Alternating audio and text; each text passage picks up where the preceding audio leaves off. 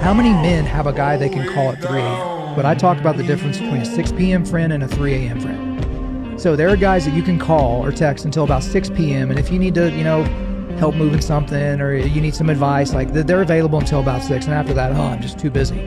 Then there's the guys that at 3 a.m., you're calling them. Not only do you know that they're going to answer, but you're going to hear in the background them getting on their pants, clicking their, you know, pistol in the appendix position and grabbing a shovel because you they assume that we're burying a body, right? That's just what they assume, and they're down. They're down to help you.